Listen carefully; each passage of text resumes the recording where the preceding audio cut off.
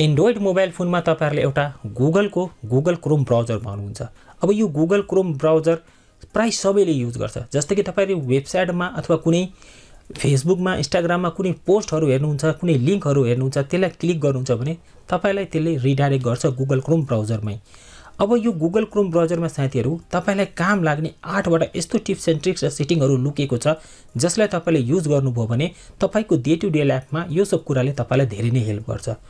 र यहाँनिर साथीहरू म के भन्छु भने यो जुन ट्रिकहरू म तपाईँलाई सेयर गर्न गइरहेको छु यो प्राय सबैलाई थाहा छैन।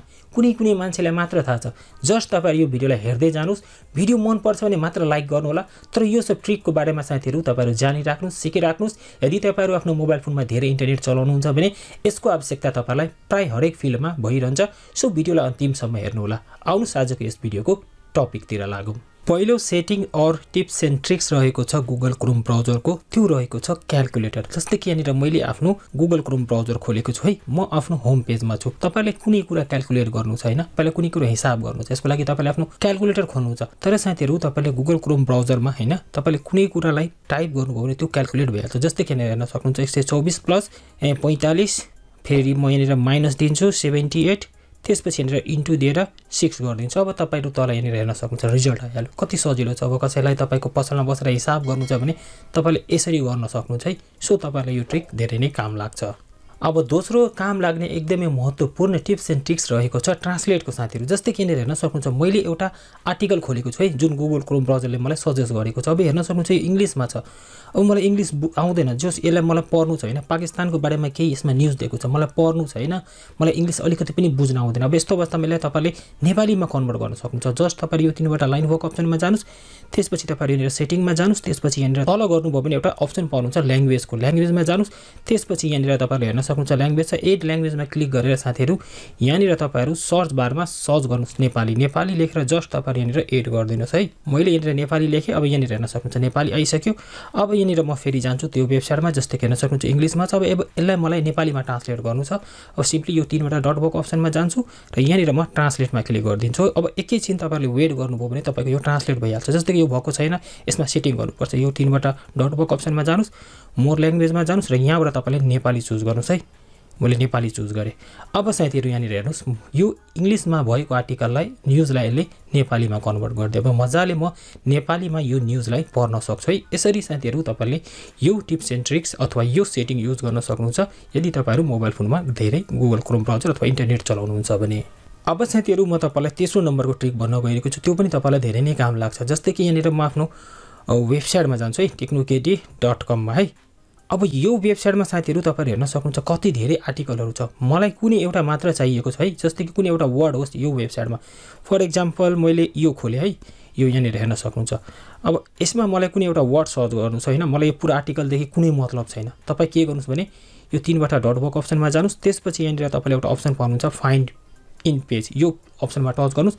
त्यसपछि साथीहरू यहाँनिर सर्च गर्नुहोस् है। मैले यहाँनिर सर्च गरेँ नेपाली। त्यसपछि यहाँनिर म इन्टर गरिदिन्छु। नेपाली सम्बन्धी यसमा केही छैन। म यहाँनिर लेख्छु एन्टी फाइबर एन्टी एफआइबिइआर जस्तै कि तपाईँहरूले हेर्न सक्नुहुन्छ मैले एन्टी फाइबर लेखेर सर्च गरेर यसमा मलाई आठवटा वर्डहरू सजेस्ट गरेको छ। यो आर्टिकलमा आठचोटि एन्टी फाइबर युज भएको छ। अब यो टच यसमा टच गरेर तपाईँले हेर्न सक्नुहुन्छ त्यो वर्डहरू कहाँनिर छ? जस्तै कि तपाईँले हेर्न सक्नुहुन्छ यो आफै तलमाथि जान्छ है। यसरी तपाईँहरूले हेर्न सक्नुहुन्छ। त्यो त्यो वर्डलाई येल्लो कलरबाट हाइलाइट गरिदिन्छ जस्तो कि यहाँनिर हेर्न सक्नुहुन्छ। यसरी साथीहरू तपाईँले कुनै नम्बर अथवा कसैको नाम कुनै आर्टिकलबाट अथवा कुनै वेबसाइटबाट निकाल्नु छ त्यो मान्छेको नाम मात्र पढ्नु छ होइन? कहाँनिर लेखेको छ त्यो तपाईँले फाइन्ड माई पेजबाट गर्न सक्नुहुन्छ है? अब साथीहरू म तपाईँलाई चार नम्बरको कुरा भन्न गइरहेको छु। जुन रहेको छ डु नट ट्र्याक मी जस्तै कि साथीहरू तपाईँहरू गुगल क्रोम ब्राउजरमा जे जे कुरा सर्च गर्नुहुन्छ त्यो सबै कुरा तपाईँको ट्र्याक हुन्छ है। त्यही हिसाबले तपाईँलाई पर्सनलाइज एडहरू तपाईँलाई देखाउँछ विज्ञापनहरू देखाउँछ।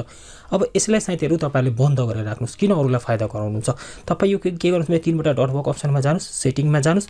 त्यसपछि साथीहरू यहाँनिर तपाईँहरू प्राइभेसी एन्ड सिक्युरिटी भन्ने अप्सन पाउनुहुन्छ यसमा जानुहोस् र यहाँनिर तपाईँले एउटा अप्सन पाउनुहुन्छ डु नट ट्र्याक यसमा क्लिक गरेर साथीहरू यसलाई तपाईँहरूले अन गरिदिनुहोस् अब यसलाई अन गरिदिनु भयो भने अब कुनै पनि वेबसाइटले तपाईँलाई के मनपर्छ तपाईँले कुन वेबसाइटमा गर्नु जानुभएको थियो त्यो कुरा त्यो वेबसाइटलाई थाहा हुँदैन।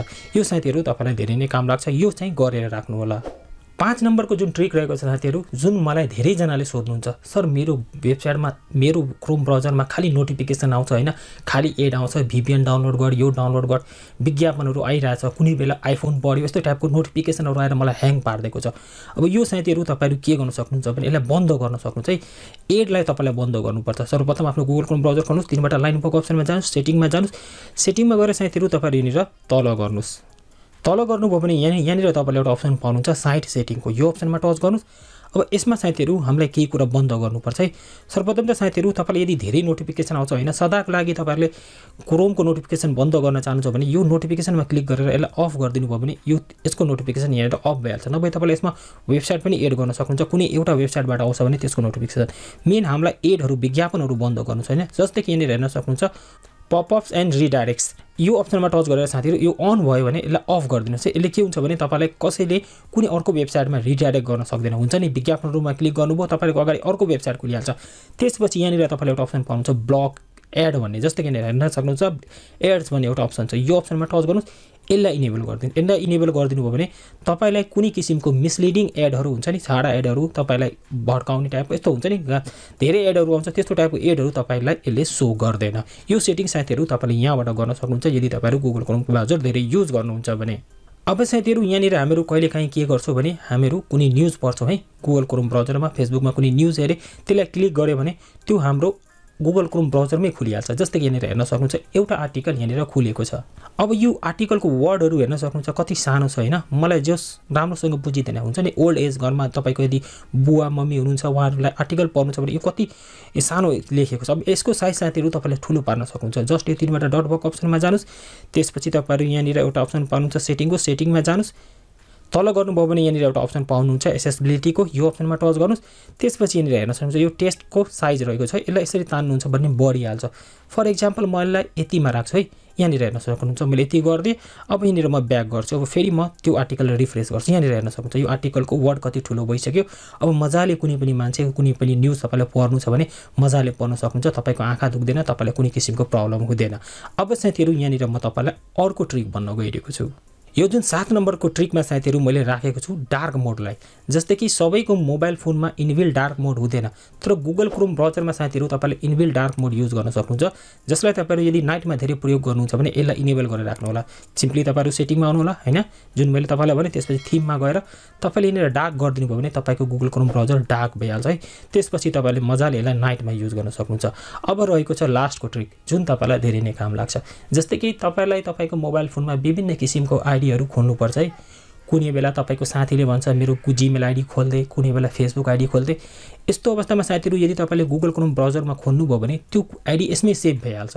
तपाईँ के गर्न सक्नुहुन्छ भने यो तिनवटा डट वर्क अप्सनमा गएर इन्कग्रिटो मोड अन गर्न सक्नुहुन्छ र यसमा तपाईँलाई कुनै फेसबुकहरू केही कुरा खोल्नु छ भने तपाईँले यहाँबाट खोल्न खोल्न सक्नुहुन्छ र यसमा गरेको कुराहरू तपाईँको कुनै डाटाहरू सेभ हुँदैन कसैले ट्र्याक गर्न सक्दैन। सो यहाँबाट गर्न सक्नुहुन्छ है।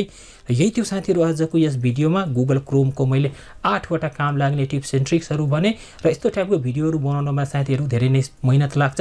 सो भिडियोलाई लाइक गरेर अगाडि बढाउनु होला र साइडमा मैले दुईवटा काम लाग्ने भिडियोको लिङ्क दिएको छु। यदि हेर्नुभएको छैन भने यो दुईवटा भिडियोलाई चेकआउट गर्नु होला। तपाईँको लागि उपयोगी हुनसक्छ। र यस भिडियोबाट म यही बिदा माग्छु। जय नेपाल।